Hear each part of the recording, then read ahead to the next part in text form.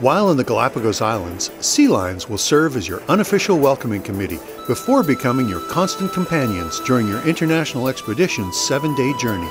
And although Galapagos sea lions seem awkward on land, their lurching side to side gait gives way to elegant, speedy twists and turns as they play in the waves or join you for a swim.